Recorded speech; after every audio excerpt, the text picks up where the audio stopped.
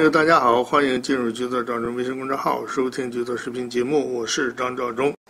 呃，昨天呢是这样，昨天我发了一条微博啊，这个因为呃呃，昨天呢 是十二月七号啊，所以我发了这条微博。下面我先把这条微博给大家读一下。七十五年前的今天，日本联合舰队从泽捉岛起兵，扑向夏威夷，轻而易举把美国太平洋舰队干掉一大半。接下来横扫太平洋，大开杀戒，一年内控制了国际日期变更线以西所有国家和岛屿。那是日本帝国最得意忘形的时刻。安倍此次前往珍珠港是缅怀死难者，还是旧梦重温？反正肯定不是道歉和认罪，哈哈，这是昨天，因为正好是七十五周年嘛，是一个纪念日啊。日本一九四一年十二月七号偷袭珍珠港，这个挑起了太平洋战争啊。呃，我就在我的“旧照中”微博里头、新浪微博里头发了这样的呃一段话啊，希望提醒大家注意。呃，结果呢，这个。呃，今天呢，呃，又看到了一些新的呃动向啊，这个日美之间呀，如何加强军事同盟啊，呃，关于安倍访问珍珠港啊，有些新的动向，所以今天这期节目呢，我就就这个问题，呃，跟大家说一说啊。呃，上期节目其实聊了啊，聊了以后呢，主要就是说，这个日本呢，啊，这个安倍呢，就是看人下菜碟啊，啊。呃，这个呃，他十一月份嘛，十一月份以后，这个到呃秘鲁参加 APEC 峰会啊，呃参加 APEC 峰会，然后跟这个这个这个这个这个呃路过纽约的时候，跟这个特朗普后任总统特朗普进行了会谈。呃，世界上没有这种先例啊，就是一个外国的现任国家领导人。然后和美国的后任总统进行会谈，因为在移交权力之前，嗯，他不是美国总统，他是后任总统啊，所以美国总统还是奥巴马，这个越过白宫啊，越过这个国务院，白宫就是美国的国务院，没有经过美国的这个外事安排，直接就找到特朗普的过渡团队，而且进行了会谈，这是。这是很失礼的行动啊！进美国而不入白宫，不拜访奥巴马，也不跟现在的这个执政团队进行切磋，直接就奔到特朗普大厦，然后跟特朗普一顿寒暄。这这个特朗普呢，这个一辈子没从过政，是做商人啊，这还没接触过这种国家什么领导人，也不知道怎么接待，怎么排座位啊，这个。呃，怎么迎啊？怎么送啊？啥也不知道，什么礼仪没有，所以说这个事儿呢，搞得双方都 比较狼狈啊。这个呃，接下来之后呢，安倍就去了这个这个 APEC 峰会了。到了 APEC 峰会上呢，本来想日美两国呃领导人在 APEC 峰会上好好谈一谈啊，结果由于奥巴马很生气啊，你这个到我家里来。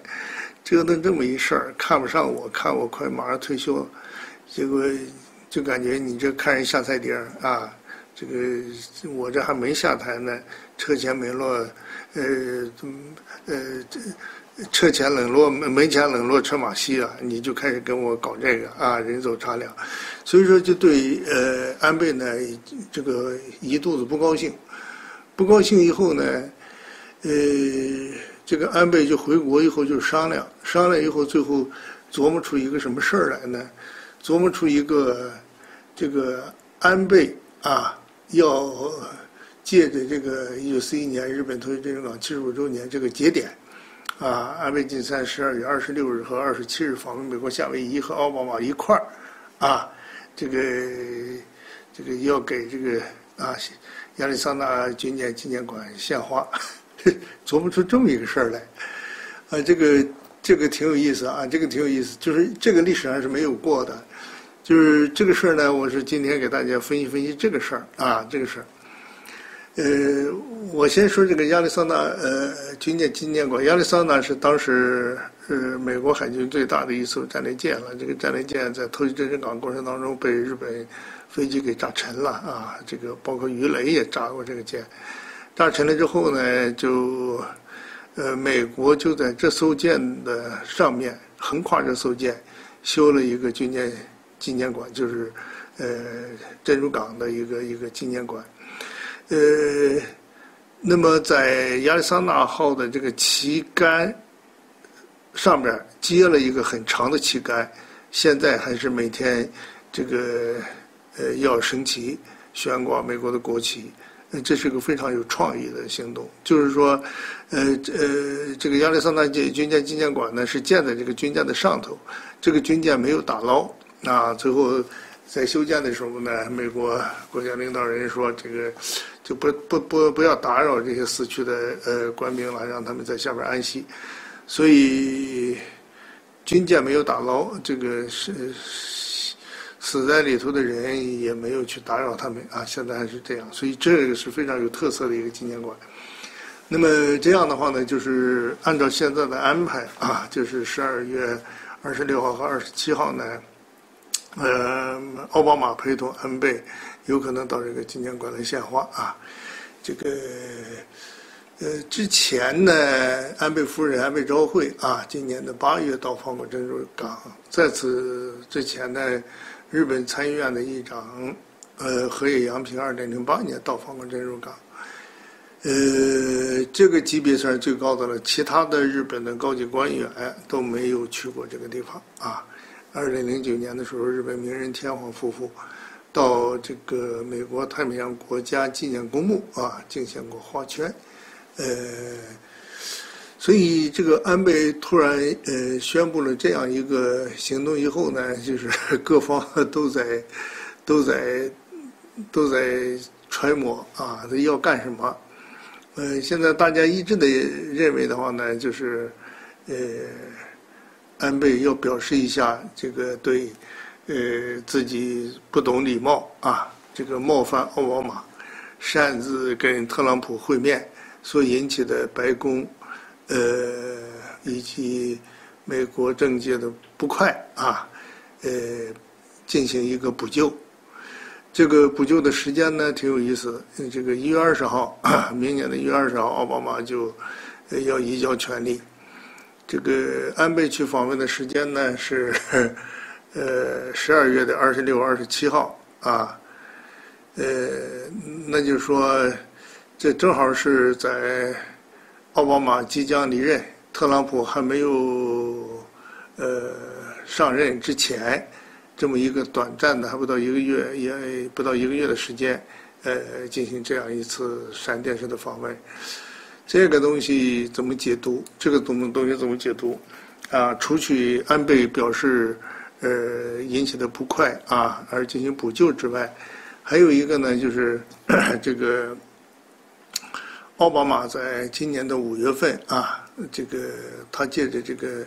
七国峰会期间呢，呃，访问了广岛。我们知道广岛和长崎是一九四五年。呃，美国啊扔两个原子弹的地点之一啊，呃，那么以后呢，就是有个说法，就是安倍访问了广岛了，这个啊，对，奥巴马访问了广岛了，安倍要不要访问珍珠港啊？就是这么一个事情，呃。这个事儿呢，就是日本方面提出过来，提出过来以后呢，但是美国就说这个事情没有什么太大必要啊，我访问你一次，你再访问一个这个，就是这个没什么太大意思，就给推了啊，推了。呃，双方呢在这个问题上呢也没有太多的交集，也没有太多的交集。那么现在呢，借着这个呃七十五周年这个事情，那么要。呃，进行这次访问，呃，从军事上来讲呢，美国一直认为打仗嘛，战争啊，对不对？这没什么要道歉的。呃，但是呢，战争当中死了人了，嗯，对死了的这些官兵呢，那么还是可以呃表示一下啊，表示一下这个呃这方面的一个呃呃悼念呀啊，或者是一种什么东西，这个还是可以的。所以说，呃，这是呃双方认知上还是存在一些问题的。呃，这是一个什么事件呢？有些年轻人不是太知道啊，不是太知道。就是说，呃，七十五年前的一九四一年十二月七日啊，日本出现，日本这个的使用六艘航空母舰，赤城、加贺、苍龙、飞龙啊，翔和、日鹤，然后对珍珠港进行呃狂轰滥炸。嗯，二百多架战机从航空母舰上起飞啊，这袭击持续了三十多分钟的时间啊。呃，造成了珍珠港两千多名美军官兵的死亡啊，这个亚历山大等一些军舰被摧毁，呃，半个小时导致太平洋舰队一半的兵力损毁啊。当时罗斯福发表耻辱演说，请求国会对日宣战，所以太平洋战争由此爆发啊。那么太平洋战争爆发以后呢？呃，由于日本挑起了太平洋战争是有准备而打的，所以说很快日本就控制了大半个太平洋。到一九四二年的时候，国际日期变更线以西基本上都被日本所控制啊，包括中国大部分啊，这个朝鲜半岛都整个的东南亚国家，除去缅甸，缅甸当时是英国控制，呃，缅甸、印度啊和这个巴基斯坦、孟加拉这一块，其他都被日本控制。嗯，国际日期变更线以东的部分地区，呃，日本也控制了一些地方，像这个基斯卡岛啊、阿图岛啊，呃，阿根这个这个澳大利亚这个也打过，啊，这个空袭达尔文呢，日本有一段时间还想占领美国的西部，但是由于日本兵力太少，最后陆军反对啊，扩大战线，所以最后没有打成。这样的话呢，就是一九四二年，整个是日本最得势的一段时间。但是美国这个一九四二年象征性的打了一些战役，比方说珊瑚海海战、中途岛海战，呃，这个瓜达尔、卡纳尔的一些反击战。那一九四三年以后，美国就开始逐渐的从两个方向，一个是中太平洋这个尼米兹啊。呃，率领海军的舰队进行正面反击。再一个，西南太平洋，麦克阿瑟啊，从澳大利亚开始越岛作战啊，这个逐渐的收缩，呃，日本的占领范围啊，把日本赶回老家去，就像赶羊似的，一点点压缩包围啊，就是主导进攻，就把日本逐渐逐渐往下赶。最后经过莱特湾战役、硫磺岛战役。冲绳战役一系列大规模的战役啊，关岛、马里亚纳群岛战役，那么最后把日本这个逐渐的向回赶，呃，直到扔了两颗原子弹之后啊，那么日本投降，呃，最后美国麦克阿瑟对日本进行军管啊，就是呃，到现在还占领着冲绳，就是其实就这么一段历史，这么一段历史。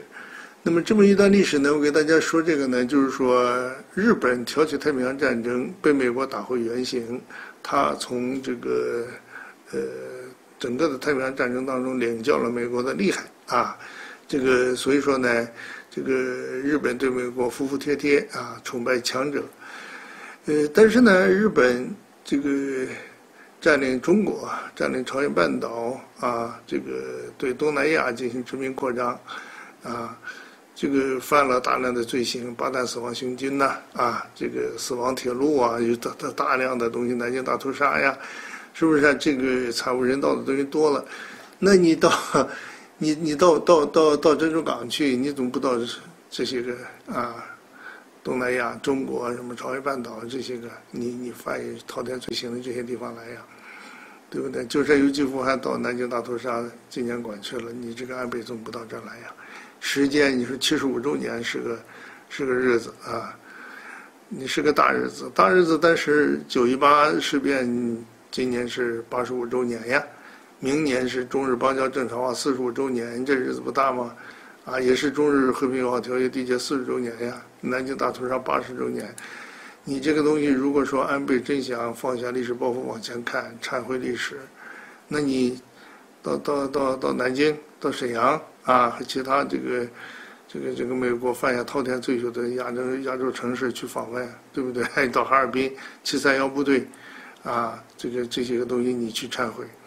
所以说呢，就是他日本他这个东西呢，然后这个看人下菜碟儿，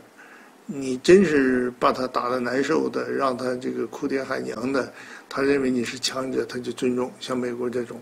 再就是呢，现在对美国也是有利用。那其他的一些国家呢？虽然他犯有滔天罪行，到现在也不认账，也不认罪，也不道歉，现在就这样一个问题，故意减轻历史罪责，逃避历史责任，就这个问题。啊，嗯当然了，有些个国家像韩国，最近这个就把这个历史开始忘了啊，就跟美国签署，呃，跟日本签署这个军事情报，呃，交换协定啊，这些个。呃，总的来讲呢，就是安倍这一次访问。这个美国的话呢，这个，呃，他是别有企图啊，就对他这个扩军备战呀，呃，接近集体自卫权呀这方面，其实是整个是一个，呃，一系列阴谋的一个组成部分啊。这个说不定他到珍珠港去，自己心里边暗暗得意，啊，他自己想，哎呦，当初七十五年前大日本帝国，海军是多么牛啊，能打得这么远啊。等于他这一个月坐飞机去两次美国，一次到纽约，一次到呃夏威夷，啊！你说当初我坐飞机都走这么半天，当时日本海军好家伙，好厉害呀啊！哎，说不定他就是扩军备战，他有这种想法的，对不对？重温历史旧梦啊！所以这是一层意思吧？啊，这个也他也不是真诚的道歉嘛，啊，他这个也。更谈不上什么认罪了啊，更谈不上认罪了，所以这是一层意思。还有呢，就是现在这个 呃，特朗普啊，特朗普这个人呢，呃，他在竞选期间那么说过很多过头的话，呃，他说过的这些过头的话呢，让日本很呃很害怕。嗯，日本呢，他就一头就扎在这个希拉里呃这个呃呃团队的这个怀抱里头，那么他就认为希拉里肯定当选，所以说就把特朗普给忽略掉了。这个特朗普呢，一看日本是这种货色啊，这个最后就特别有有气啊，就说要从日本撤军啊，这个美日同盟这个不公平，用不着管日本的事儿，美国要搞孤立主义。就是这样的话呢，就等于美日嗯军事同盟面临解体，呃，而且要求日本增加更多的防卫预算，呃，对驻日美军要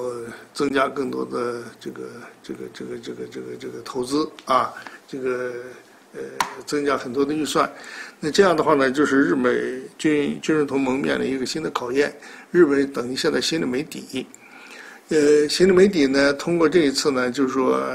呃，奥巴马快下台。利用奥巴马下台之前呢，有些事儿呢，看看能不能先生米做成熟饭，将来迫使这个特朗普，就是，呃，这个特朗普一天起来乱七八糟，乱七八糟，也搞不清这个人什么脑子啊。就是头一天说啥，第二天他就忘了啊。这个，呃，没什么太大的逻辑性啊。这个现在世界上谁都抓不着他的这个头脑。一般的这这个领导人现在说话的要非常慎重，表态也非常慎重，尤其涉及到国家之间的关系，这重大政治问题。照说一个后任总统牵涉的一些关系，因为美国它不是个小国啊，这么大国家政策有连贯性，他应该在外交上要咨询这国务院啊。这个你可以不听，但是你可以咨询嘛，你问问国务院。我跟这这个这个哪个国家外交上就是注意些什么东西啊？你这个政策延续性嘛，已经签了哪些个协议，哪些需要遵守？不问，自己想起来就说。他不是说啊，他写推特、写微博啊，好家伙，这个心里边怎么想的，就直接微博里边就发出来了。历史上从来没有这种总统。奥巴马原来是网红，奥巴马也没有这么随性过，这么任性过。推特之国。啊，这相当于推特，相当于咱们中国的微博，对不对啊？微博理政，推特治国啊！一个七十岁老愤青，对不对？这个特朗普，你整天就喷啊，网上整个一喷子，是谁知道他要干什么呀？都不知道。下来把这个安倍给紧张的，哎呀，美日安保条约会不会解体呀？美日军事同盟会不会解体啊？将来美国也不管日本，日本可怎么办呀？你看现在 TPP 美国已经不干了，你这怎么弄啊？你光靠日本，日本推不动 TPP，这肯定死死了，这根本没没什么救了。那下一步要是 RCEP，要是中国主导，日本还有活吗？啊，这怎么弄？让日本出钱，那就是让日本出钱。现在日本已经出了十六亿美元呢，驻日美军一年。那日本这个呃驻日美军一些到关岛哪儿去那修营房乱七八糟钱还让美国出，呃还让日本出。那日本这个还给美国补给，美国打阿富汗战争，这合起来好像几十亿美元，还让日本出钱，也得出多少啊？就是日本现在心里面没数，没数以后呢，现在就趁着特朗普上来之前，好多东西先生米做成熟饭，现在就这么个打算啊，就这么个打算。双方呢作为交换，反正这个就等于六号嘛，同一天，呃，日本宣布，呃，安倍首相啊将访问夏威夷。美国呢，同时也宣布啊，说欢迎安倍的来访。六号呢，这个美国国务长卡特到访日本，啊，这卡特到日本之后呢，然后这个几个活动，一个是呢，登上这个日本海上自卫队最大的航母出云号啊，两万五千吨，上面就开始吹啊，就是美日同盟从来没今天这么强大啊，这是双向的，不是单向的。两国都是受益的，这是跟特朗普的相反！就是先给特朗普定个调子啊，让特朗普上来以后就按这个调门啊往前也唱啊，就等于这这是一个。再一个呢，卡特还跟安倍进行会谈，安倍接见卡特，接见卡特，两人谈了四十多分钟，主要是老话嘛，冷战思维继续传承啊，朝鲜半岛问题啊，核问题啊，导弹问题啊，中国海海洋活动一些问题，南海问题。哎，双方谈了一些这玩意儿啊，这这些方面，日本还是要继续干啊，这个继续给中国添堵啊。呃，还有呃一个问题呢，就是说这个，呃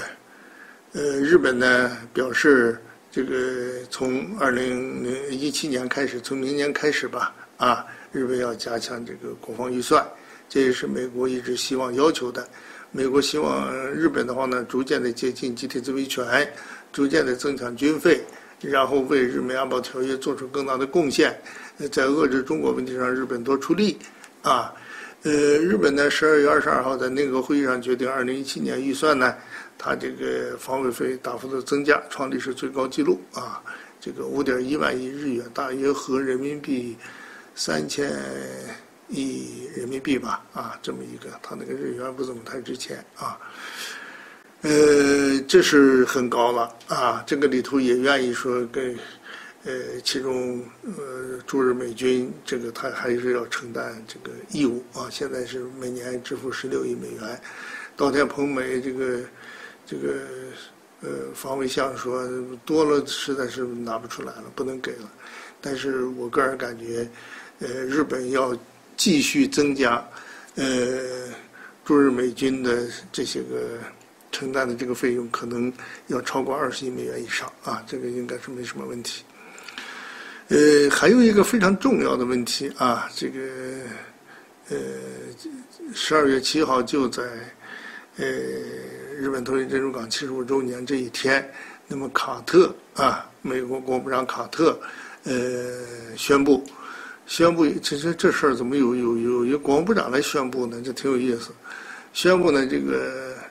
冲绳北部的训练场，呃，归还日本。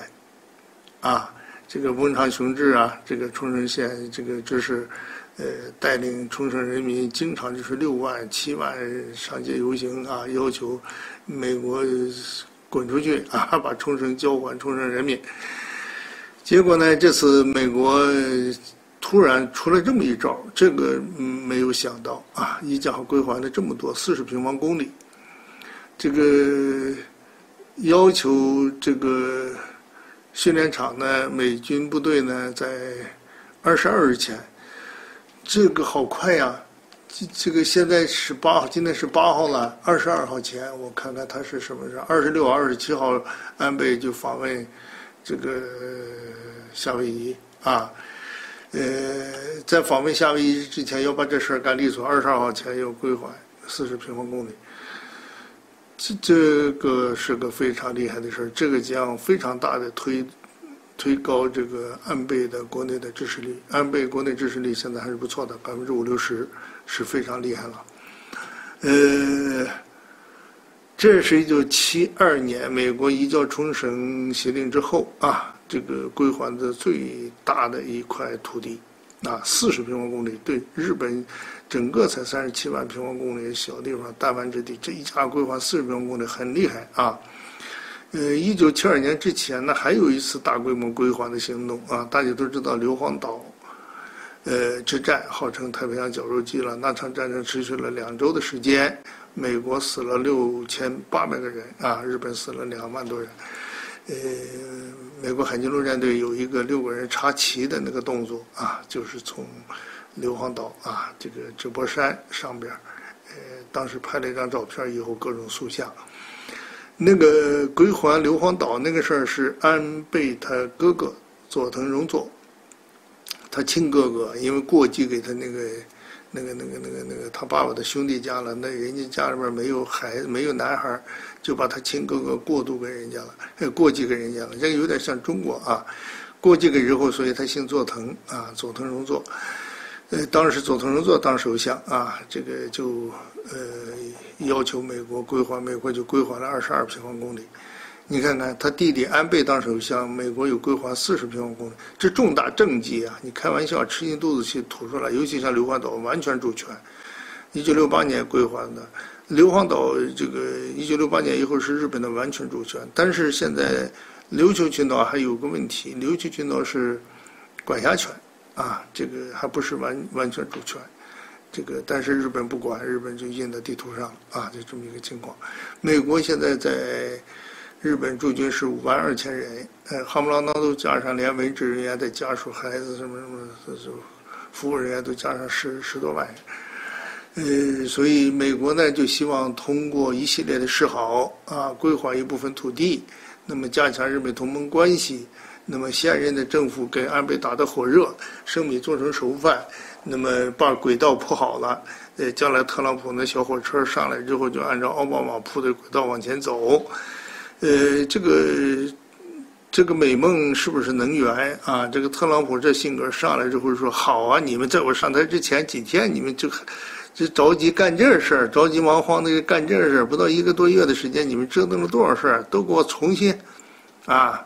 重新这个这个这个都给我拆散了，把铺那小轨道都给我拆了，我重新构思亚太战略格局啊，美日军事同盟啊，这个重重新琢磨。这也难讲。你说这哦，这个特朗普谁知道这人怎么样啊？所以现在 从来没没没当过官，没立个正啊，做了一辈子生意，突然当总统了，所以谁都摸不住他的脉脉络啊。呃，那么